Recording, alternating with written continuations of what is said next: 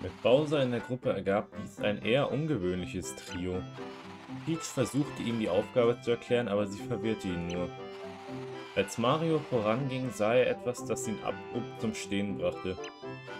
Was ist denn Mario? fragte Peach, als sie sich umdrehte und das weite Blaue sah. Die großen glänzenden Wellen des Kachelmeers zogen sich hin, soweit sie sehen konnten. Fort Konrad musste sich irgendwo hinter diesem Meer befinden. Damit willkommen zu Super Paper Mario in 3.2 Blooper Ahoy. Man kann meinen Haaren entnehmen, dass ich gerade erst aus der Dusche gekommen bin.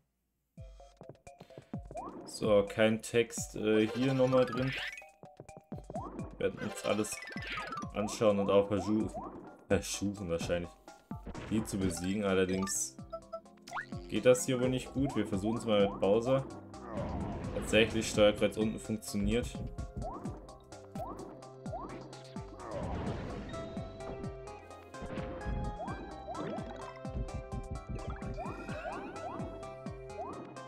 Kann man auch auf sie drauf springen? Ich glaube nicht, aber ich versuche es mal.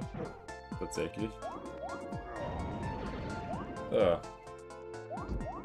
Muss man ja alles herausfinden wir werden jetzt halt immer zu Bowser wechseln und die Gegner sehen, weil wir die Erfahrung haben wollen. Uns fehlen noch 16.000 Punkte für das nächste Level up, was, soweit ich weiß, Angriff beinhaltet. Und ich sehe jetzt soweit nichts, außer hier oben einen geheimen Durchgang und äh, diese Münzen.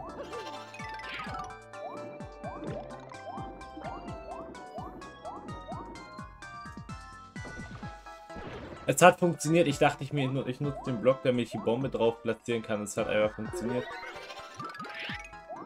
Ja, diese Scheiße. Ich wollte jetzt den Durchgang hier nutzen und jetzt, habe ich die Münzenblume genutzt. Egal. Münzenblume ist nicht so wichtig.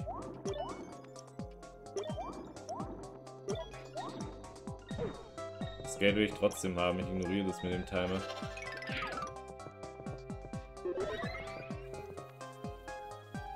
Fuck. Ich wurde outplayed.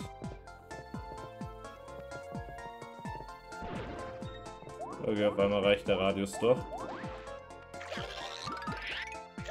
Hier scheint nichts zu sein. Wie auch in dem vorherigen Level kann man sehen, dass alles verpixelt ist und... Wieso ist hier äh, eine Speere für 3D? Kommt ja einfach in 3D nicht durch, aber in 2D schon, weil man einfach diese Linie im 2D nicht sieht. Ja, kommt doch her, Kollegen.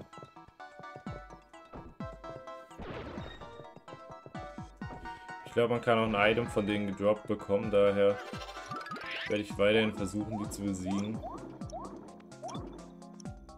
Okay, was wir denn damit machen? Wir haben nichts, was uns dabei hilft. Jetzt habe ich schon wieder vergessen, dass die Bombe so schnell runtergeht. Sieht aus, als würden wir hier ein neues Pixel. Voldo Pilz, dein Ernst?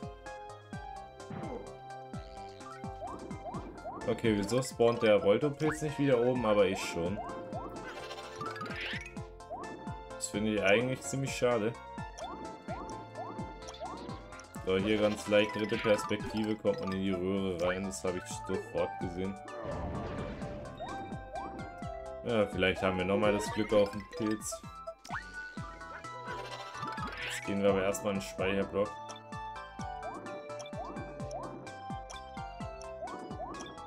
Ziemlich verarschen. So.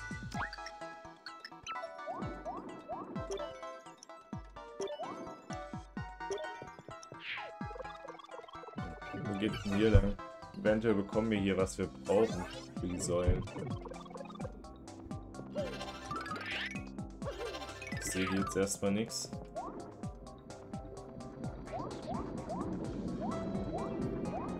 In den Sturm sollten wir wieder nicht gehen. Hier ist allerdings ein Secret.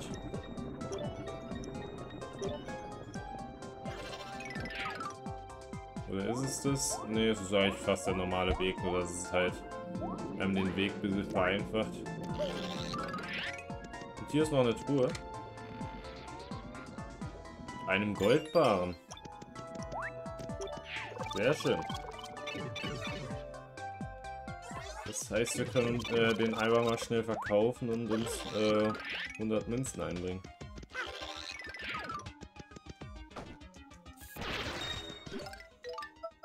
Noch simpler wäre es einfach mit Bowser.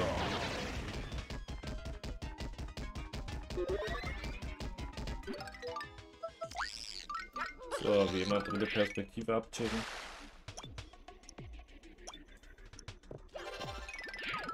Den Bloopers, die Form ändern können, die könnten ein Item haben. Tatsächlich. Tintensaft. Jetzt haben wir schon wieder alles voll, perfekt.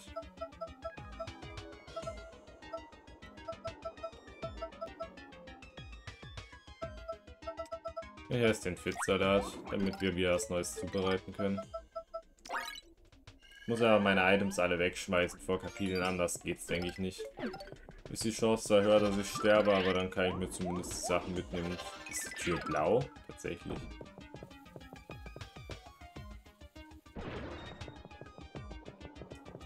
Unten gibt es hier wohl nichts. Nein. Dann gehen wir durch die merkwürdig blaue Tür. Hier müssen wir was bekommen, weil wir werden sonst gefangen gehalten. Das sieht äh, nach einem äh, guten Ort für Bowser aus. Trotzdem habe ich ziemlich viel Schaden erlitten, aber die Punkte gönnen auch. Und da ist unser neues Pixel. Wir werden uns allerdings noch vorher ein bisschen umschauen. Ja, okay, das ist einfach nur ein fetter Raum.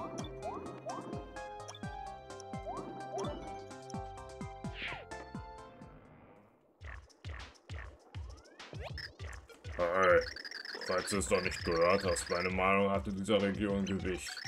Und jetzt wollen wir mal sehen, ob du das passende Gewicht für mich hast. Dann sehen wir uns mal dein Gesicht an. Scheint, als hättest du einen dichten Schnurrbart. Nicht schlecht, 60 Punkte.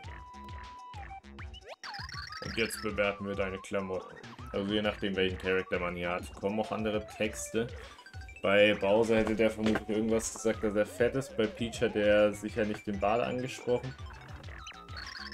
Ein Blaumann, nur die kräftigsten Aid laufen so herum. 100 Punkte. Lass dich mal ansehen, Zeit einen genaueren Blick auf den Rest von dir zu werfen. Boah, du bist vielleicht klein, aber dein Umfang ist nicht zu verachten. Das hat Gewicht, dafür gibt es weitere 10.000 Punkte. Das von dir an den Tag gelegte Gewicht haut mich um. Da gibt es keine zweite Meinung. Umfang und Gewicht stimmen. Jeder Idiot, der sich dir in den Weg stellt, wird einfach platt gemacht. Ich liebe es, die Leichtgewichte zu zertrümmern und zu zerquetschen. So erreicht man etwas und ich will dabei sein. Let's go! Das den Boden erschütternde Pixel Stampfo hat sich deiner Gruppe angeschlossen. Jetzt kannst du von oben herab mächtige Angriffe starten. Du kannst diese Fähigkeit sogar unter Wasser verwenden. Und tatsächlich hat man mit einer Stampfattacke den doppelten Angriff bei einem Schwung. Das bedeutet, dass man mit Bowser dann den vierfachen Angriff von äh, Mario, Peach und eventuell auch dem dritten Helden hat. Unser beider Umfang stoppt uns so schnell niemand. Zuerst müssen wir aber diesen Raum verlassen. Ich kann dir dabei helfen.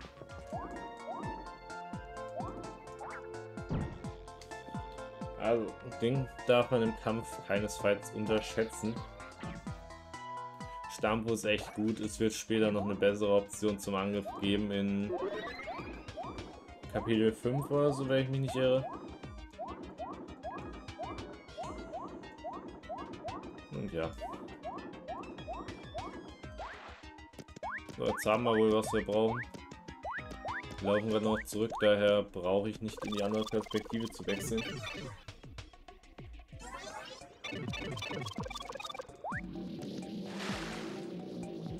Oh, Junge.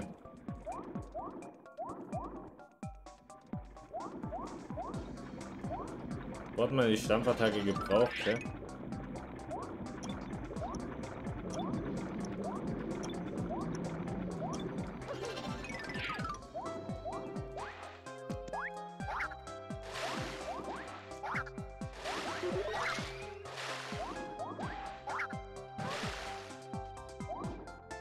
muss irgendwie über ihn kommen, das ist bei einem Blooper schwer. Wen jetzt eigentlich mit... Ach, scheiße, Alter. Wen mit Stampfe besiegen, kommt schon.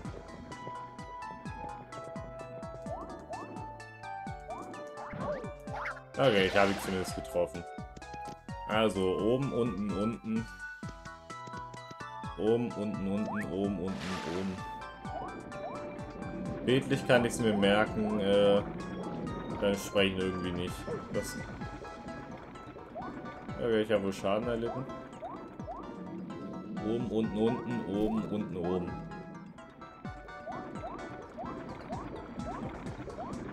Wenn ihr es euch nicht merken könnt, schaut einfach auf ein Bild oder so.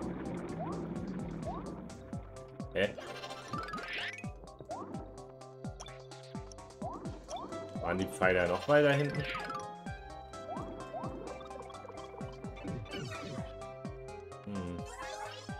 Tatsächlich. Oben, unten, unten, oben, unten, oben. Heißt hier nur der hier. Und hier die beiden. Jetzt können wir auch mit Mario die Cheap Cheeps leicht besiegen. Wir hätten uns diese Tür hier erschaffen.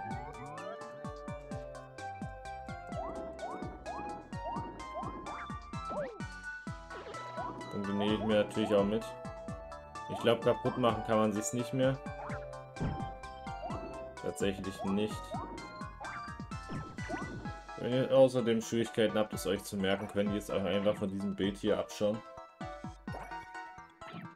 Aber ich kann mir das Bild nicht eigentlich ganz gut merken. Ja, was ist das für ein Vieh? Habe ich da gerade eine Karte gesehen? Nein. Trotzdem nochmal nach hinten gehen, ist aber nichts. Mal schauen, ob wir eine Stampfattacke auf den machen können oder ob er uns komplett umbringt. Tatsächlich, wir können die besiegen.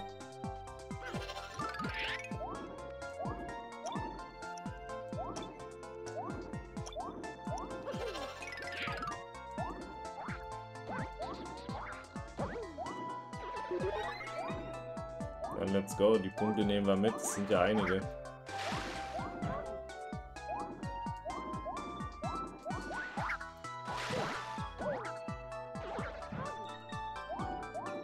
Leben wird langsam knapp, aber die Erfahrung ist da.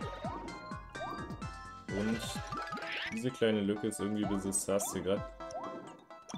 Keine Ahnung, ob man da runter kann oder nicht. Es sieht halt alles wie ein Gebiet aus, daher entweder kann man überall runter oder nirgendwo, denke ich.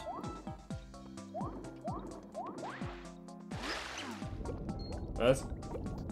Ich wollte eine Stampfattacke auf den Fisch machen. Bla Blub, was ist hier los?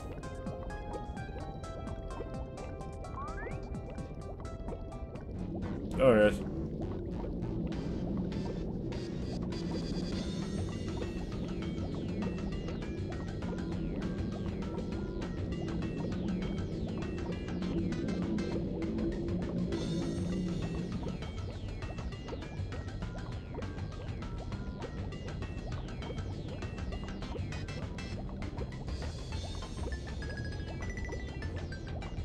es auch mal? Blub, blub. Wie wäre es mit einem Tentakel-Sandwich? Da kannst du gerne reinbeißen, aber ohne mich. So, die Game Tentakel stellen die Mauer da, an der wir nicht vorbeikommen. Wir haben es aber nur auf den roten abgesehen. Bowser ist hier die beste Wahl, da er mit dem Feuer die Gegner auch gut erreichen kann.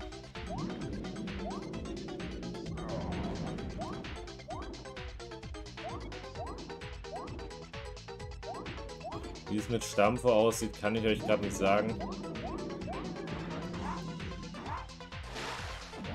Tatsächlich, man kann stampfen, dann werden wir das tun. Blub, blub, blub, blub. Nein, nicht dort. Bitte überall, nur nicht dort. So, mit Stampfen machen wir mehr Schaden. Scannen können wir ihn nicht, wollte ich gerade versuchen, aber habe ich schon vergessen, dass wir Tippi nicht mehr haben.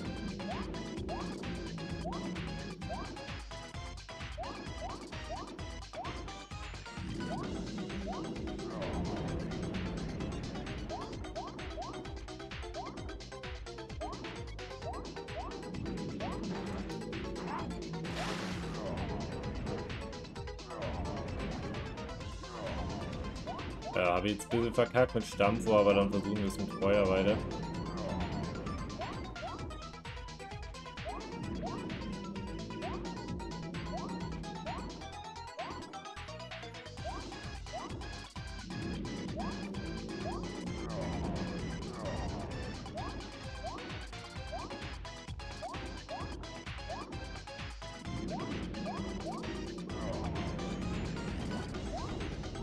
Haben wir ihn schon?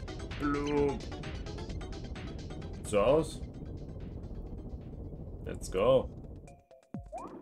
Paul sagt so gar nichts, er ist nicht mehr von sich beeindruckt.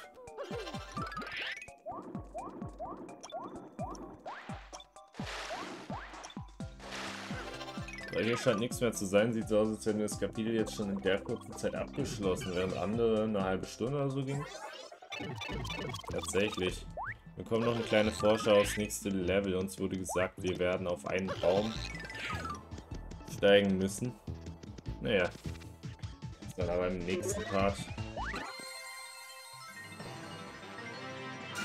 Damit hätten wir das Kapitel jetzt fertig. Im nächsten Part geht es dann mit 3-3 weiter auf den Baum. Bis dahin und ciao.